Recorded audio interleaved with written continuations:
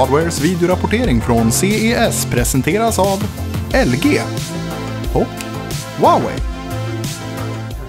Om det finns en PC-motsvarighet till Apples eh, klassiska Mac Pro-dator, den här vet, lilla svarta soptunnelliknande saken, då måste vi ändå säga att Corsair One ligger jäkligt bra till i den här jämförelsen. Det är ett större system, men det har också riktigt, riktigt mycket prestanda i det här faktiskt väldigt kompakta formatet. Corsair One lanserades redan 2017. Nu 2019 så kommer nya modeller i den här serien av kompakta gaming och nu även content creation-datorer. Vi har Corsair One i140, Corsair One i160 och Corsair One i180 Pro.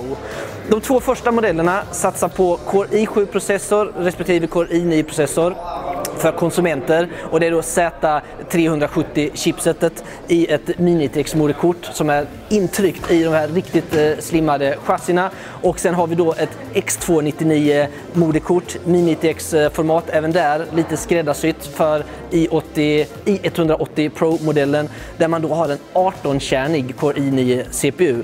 Grafikkretsarna, det är fullstora GeForce RTX 2080 i instegsmodellen, 2080 Ti i 160 och 180 modellerna.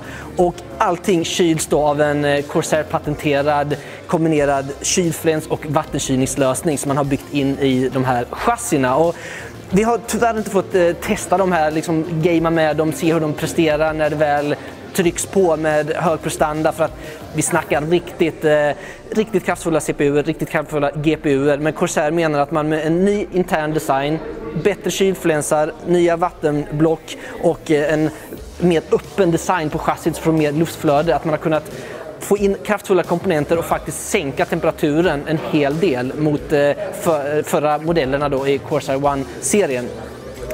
Faktiskt, jag, jag är lite överraskad över att vi har sett de här förr, men när man ser de här, de är faktiskt riktigt kompakta. Designen är betydligt mer aggressiv eh, jämfört med exempelvis Mac Pro som vi pratade om tidigare och de är också större än Mac Pro. Men prestandan på pappret ser i alla fall riktigt lovande ut.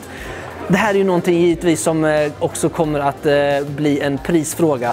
Tittar vi på basmodellen så börjar den på 3000 dollar. Det är alltså 30 000 kronor ungefär. Och ska man satsa på den här modellen som är Pro-modellen som är mer för content creators, som är faktiskt ett nytt grepp man tar, inte bara gamingmaskiner. Då landar prislappen på 4 500 dollar ungefär, så det är, det är runt 45 000 spänn. Men visst, det är PCI NVMe SSD-enheter i alla, kraftfulla SFX-nätdelar och eh, riktigt bra prestandakomponenter hela vägen. Men det kostar att få så mycket prestanda i de här små formaten. Men vill man inte bygga eget och vill ha det kompakt så Corsair One, riktigt häftiga system där man nu även då satsar på content creators.